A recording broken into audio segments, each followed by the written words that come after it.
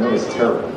But folks, I've worked for 39 years in public schools in three different states and seven different school districts, and I can tell you firsthand, this doesn't happen anywhere else.